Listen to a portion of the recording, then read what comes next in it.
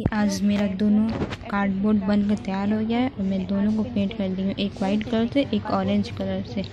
ऐसे पेंट कर सकते हैं, उसके बाद इसमें कुछ लिख सकते हैं, कुछ बना सकते हैं, कुछ भी कर सकते हैं। थैंक यू फॉर वॉचिंग अगर आप लोग अच्छा लगे तो लाइक कीजिए शेयर कीजिए।